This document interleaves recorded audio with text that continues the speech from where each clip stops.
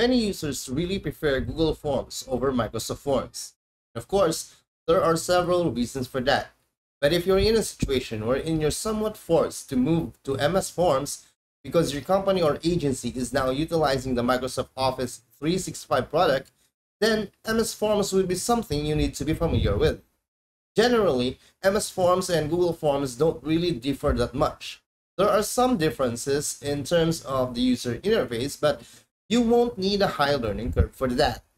But did you know that some features of MS Forms make it quite unique compared with Google Forms? And today, I'm going to show you that, so stick around. This is Weds of ISF Media, and welcome back to Educ Nation, educating the nation.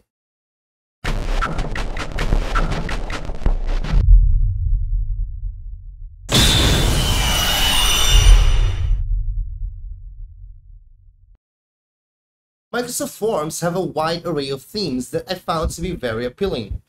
Apart from the standard themes that we typically see in other platforms, MS Forms have this video theme.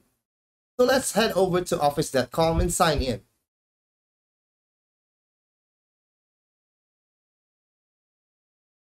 Head over to the left panel bar and click on Apps. Under the Productivity section, you can find Forms and click on it.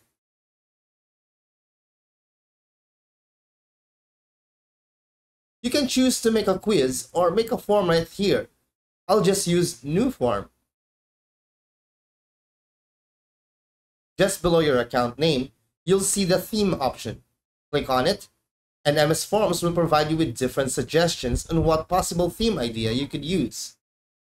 For every theme available, there's a play icon on the lower left, which is a video-based theme just like this one. So let's check it out. The video theme will automatically play on the background of your form.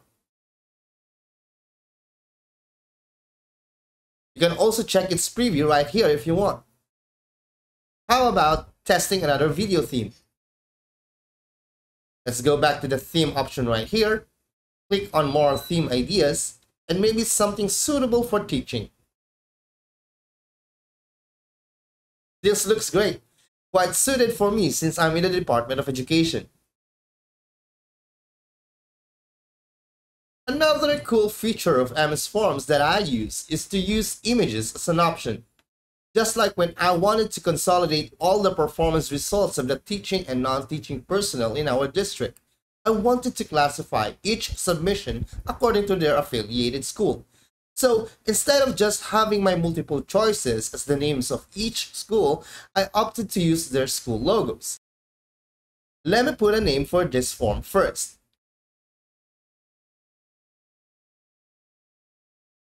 And I'll click on add new to start making a question. Choose choice right here and there's the question template. Let's say select the school you are affiliated with.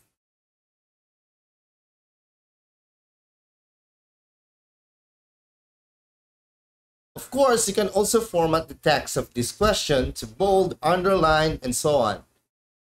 Let's put the name of the schools right here in our options bar. On the rightmost part of this box, you can see there are three options to add your image. You can insert, paste, or drag. Let's click on it first, and there's three ways to add it right here. If you have pictures in your OneDrive account, you can select it right here which I currently don't have one. You can also upload, or you can choose to search the internet via image search right here. But since I have pictures prepared already, I'll choose on the upload option.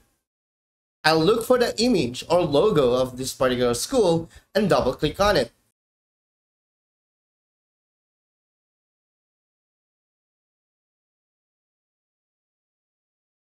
And there you go image is immediately placed right there.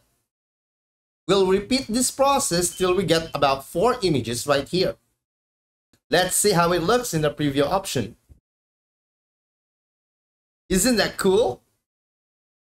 Another thing I found to be very useful in MS Forms is the fact that their supposed share option is managed under one user interface window. Let me show you. Here in our MS form, you can find the Collect Response button on the upper right hand side of the page. When you click on it, a pop-up window will immediately appear. If you notice, the responses settings are already here along with the share settings too. You can choose to set your MS form to be available for everyone by choosing the anyone can respond option. Or you can only set it to exclusively within your organization by choosing the next option, which in my case would be anyone within the Department of Education. Or you can just specifically choose people to access this form by choosing the third option and sharing the link which is available right below. You can also shorten the link URL right here by ticking this box and share them this shortened link immediately. On the right side of the window, the form can also be sent using your MS Outlook via email or even by directly sharing it with your MS Teams, in case you have an MS Team set up for your group or personal or whatever. Just type the name of that group you have in your MS Teams right here, or maybe your channel, and click send right away. Others would also prefer to have it on a QR code, which Microsoft already prepared for you right here. That way, everyone can just easily scan the code and redirect them to the form immediately. If you have a website or maybe you're using a forum-based web page, the embedded codes are also available right here. Just click the copy button and paste it on your website or your forum thread. Microsoft also announced that anytime this month or next month, MS Forms will also have a background music option that can be available in your form. That will mean that your users will be able to hear your choice of music as they fill out your form. Isn't that amazing? Now your users won't get bored when filling out your very long form. This is also great if you have students who like to listen to music while taking a quiz or answering a paper. Now they don't have a reason to latch onto their earphones. Huh. And finally, Microsoft already created a wide variety of options if you're trying to create a new form. The Explore Templates area under the Forms gallery can provide you with a number of options you can choose from. You can also click the View All right here and see what possible templates you would like to use that would be suitable for your plan. So those are 5 features of Microsoft Forms that are already made available for everyone. What do you think of these features? Please let us know by sharing your comments down below. That's it for today and I hope you enjoyed this video. Please don't forget to subscribe here in our channel and don't forget to click on that notification bell to keep you updated with our latest videos. Send us some likes and shares so that you can help others too. This is Sir Weds of ISF Media telling you to always keep things simple, efficient, and ambitious. Till next time, see ya! is the fact that their supposed share option is managed under one user face window. Blah. Another thing I found to be very useful in MS Forms is the fact that their supposed share option is managed under one user face interface. User post share option is managed under one user face user face. If you notice, the responses settings, if you notice, the responses settings are already here along with the shared chat. Ah.